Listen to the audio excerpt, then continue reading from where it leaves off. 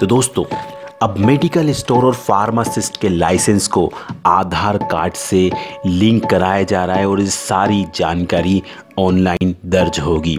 कोई भी मरीज़ अस्पताल से, दवा स्टोर से दूरी, स्थान कौन सा फार्मासिस्ट है और उसका मोबाइल नंबर क्या है? ये सब कुछ वो देश में कहीं भी बैठकर जान सकेंगे। साथ ही, लाइसेंस आधार कार्ड से लिंक होने से, एक फार्मासिस्ट के नाम से एक ही मेडिकल स्टोर का रजिस्ट्रेशन हो सकेगा। मेडिकल स्टोर, थोक कारोबार, ब्लड बैंक और दवा निर्माता, कंपनी के लाइसेंस का ऑनलाइन ब्यौरा दर्ज किया जाएगा। औषधि नियंत्रण अधिकारियों ने बताया कि करीब 1800 लाइसेंसों को आधार कार्ड से जोड़ा जाएगा और इस नई व्यवस्था से कई तरह के फ्रॉड रुक जाएँगे। फार्मासिस्ट किराए पर लाइसेंस देकर खुद नौकरी नहीं कर पाएँगे और दस्तावेज़ यानी कि डॉक्यूमेंट्स ऑनलाइन होने से फार्मासिस्ट के नाम सामने आ सकते हैं और फार्मासिस्ट द्वारा नियमों को दरकिनार करके दो जगह से आय अर्जित किए जाने का खुलासा हो सकेगा। हम आपको बता दें कि फार्मासिस्टों के जो लाइसेंस है, उसको आधार कार्ड से लिंक किया जा रहा है और इसके लिए पूरी प्रक्रिया शुरू कर दी गई है। इसके तहत लाइसेंस के साथ ही, जो भी नए लाइसेंस है उनके साथ ही, जो पुराने जिनके पास लाइसेंस है, उनको औषधि विभाग के जो पोर्टल है, यानी कि एफएसजीए के पोर्टल पर ऑनलाइन डॉक्यूमेंट अपलोड करना होगा। अगर डॉक्यूमेंट्स अपलोड नहीं करते हैं तो लाइसेंस रद्द कर दिया जाएगा। इस नई व्यवस्था में आधार कार्ड से लिंक होने से एक फार्मासिस्ट के नाम से एक ही मेडिकल स्टोर का रजिस्ट्रेशन हो सकेगा। इसमें मेडिकल स्टोर थोक कारोबारी, ब्लड बैंक और दवा निर्माता कंपनी के लाइसेंस का ऑनलाइन ब्यौरा दर्ज किया जाएगा।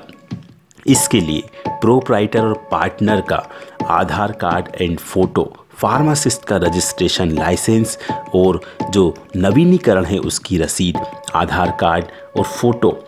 सक्षम व्यक्ति केवल थोक दुकान के लिए आधार कार्ड, फ़ोटो, घोषणा पत्र किराया नामा रेफ्रिजरेटर का बिल, ये सारे जितने भी डॉक्यूमेंट्स हैं, उनको ऑनलाइन अपलोड करना होगा। इसके अलावा मोबाइल नंबर भी वहाँ पर देना होगा। दोस्तों, ये सारी कवायद क्यों की जा रही हैं? क्योंकि ज़िले में कई फार्मासिस्टों ने अपने लाइसेंस तो किराए पर दे रखे हैं और खुद एमआर की नौकरी कर रहे हैं। डॉक्यूमेंट्स ऑनलाइन होने से फार्मासिस्टों के नाम सामने आ सकते हैं। ऐसे में इन लोगों को अपने लाइसेंस जिस मेडिकल स्टोर को इन्होंने दे रखे हैं, वहाँ से वापस लेने होंगे। वहीं जो भी फार्मासिस्ट नियमों को दरकिनार करके दो जगह से इनकम कर रहे थे, उनका भी खुलासा हो सकेगा। पहले एक ही फार्मासिस्ट के रजिस्ट्रेशन पर बहुत सारे मेडिकल चलते थे, जबकि नियम है कि जिस फार्मासिस्ट का रजिस्ट्रेशन लगा है, वह उसी की देखरेख में चलना चाहिए। लेकिन किसी भी स्टोर में, किसी भी मेडिकल स्टोर में फार्मासिस्ट नहीं मिलते थे। तो दोस्तों, इसके लिए उनको www.fsdup.gov.in पर ऑनलाइन आवेदन करना होगा। इसमें मेडिकल स्टोर संचालक और फार्मासिस्ट को अपना आधार नंबर दर्ज कराना होगा। आधार नंबर जिस मोबाइल से लिंक होगा, उसी पर ओटीपी आएगा। तो दोस्तों ये था हमारा आज का वीडियो। उम्मीद करते हैं कि हमारा ये वीडियो आपको पसंद आया होगा। अगर अभी तक आपने हमारे इस चैनल को सब्सक्राइब नहीं किया है तो हमारे इस चैनल को ज़रूर सब्सक्राइब करें और वेल आइकन ज़रूर दबाएँ। इस वीडियो को लाइक करें और अपने दोस्तों के साथ ज़रूर शेयर करें। कमेंट करके हमें ज़रूर बताएँ कि आपको ये वीडियो कैसा लगा। मिलते हैं अगले वीडियो में। नमस्कार।